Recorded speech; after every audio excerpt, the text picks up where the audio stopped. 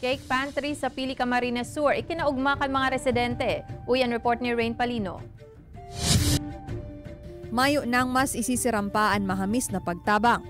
Ini ang pigtutulod kan community cake pantry na ini sa Banwaan in Pili, Camarines Sur. Sinda nag-opresir rin man la cakes as in pastries.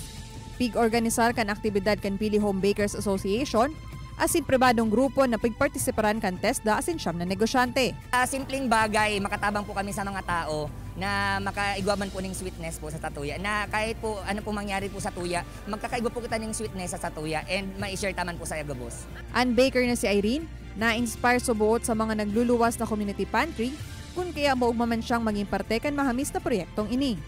para magkakakilala din ang mga home baker at makilala din ang bawat isa sa amin at sila din matutulungan Sigun man kay Hobroliano, Vice President kan San Antonio Bakers Association, inipaagi ninda para iheras ang sa idang nanudan sa sa indang training sa baking. Wala pong tabang ni yung ano ini yung community cake pantry ini na ma-share mi man po si mga nanonood mi sa TESDA mi sa ano NC2 baking class mi. Ang aktibidad pig-aprobitsaran asin ikinaugmaman kan mga residente.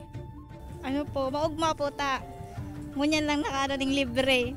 Apwera digdi nag-opresir man in libreng cake para sa mga nagsiselebra ng birthdays. Kay Banan si Joel Gandia, Rain Palino, Balitang Bicolandia.